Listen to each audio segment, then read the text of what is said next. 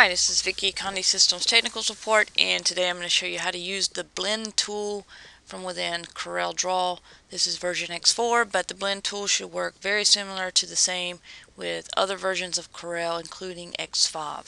So to get started, I have a new document, and I'm going to um, just a easy way to use the blend tool is to grab one of your cut tools over here just to demonstrate um, do something quite simple. And um, so you have different shapes here that you can use. I'm going to use um, let's just start with let's just start with the uh, an ellipse. And uh, to draw a perfect circle again I have a video on on uh, several CorelDRAW uh, tools. And in one of the videos I show you how to draw a perfect circle. So hold your con your control key down press your left mouse key and drag um, to get a, a, perfect circle. Uh, as you can see, this is uh, equal both length and width. So um, having one circle here, let's just put some color in it. And we'll choose, uh, let's just say black. I'm sorry, black. This is a good solid black.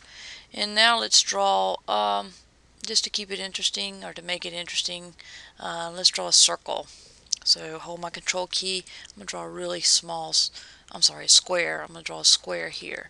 So uh, the blend tool, what's interesting about it is that uh, it will blend uh, the circle and the square, a gradual blending effect. So to make it uh, even more interesting, we'll add a different color in it. Let's use this dark blue here.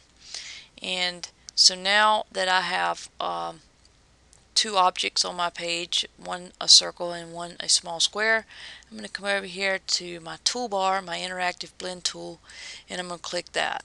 Okay, and so now I have um, this little arrow with this these little uh, blocks here. So I'm going to left click and um, draw a line hold it down and draw a line from the square to the circle or the circle to the square. And as you can see I have created a blending effect um, from the circle to the square where it's converting gradually into a small square.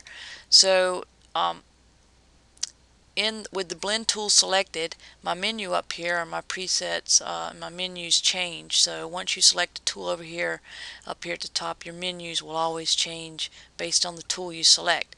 So if I want to make some changes to this blend tool I can very easily um, come up here and type something like 15 and what that does is it gives me 15 objects versus 20 uh, 10 I have 10 objects that gradually change.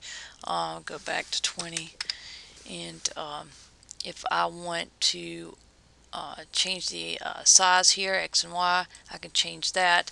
Um, and what that does is move it on the page. Also, and get closer again, I can slide this bar and that gives it a different effect also. So isn't that neat? That's pretty cool. Um, so I can do different things with this blend tool. I can also curve, put a curve in it or create a line where I can um, um, put my objects on a line and it follow the path. So these are different things you can do with the blend tool. But uh, to take the stroke out of it, I can come over here and right click on the top of my color palette here where it's the the white X and that will remove the stroke around the um, the objects. So you don't have the uh, the stroke showing there. So and you can right click and change the color of the stroke as well. But I'm going to get rid of the stroke. So it's a neat little feature the blend tool for you graphic designers out there. As you can see the layers here you can play around with the blend tool and uh, use your tools up here to find different ways to um, change the color, all kinds of things you can do playing around with these tools. You can change the actual color of the blend. You can do all kinds of neat things using this blend tool.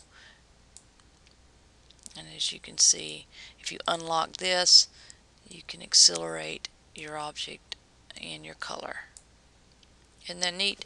So again, this is Vicky with Conde Systems demonstrating how to use the blend tool in CorelDRAW versions uh, with X4 this one and it would work with other versions of CorelDRAW including X5. As always, thank you for your time. If you have any questions, feel free to give me a call. Um, my number is 1-800-826-6332. My name is Vicky. Thank you.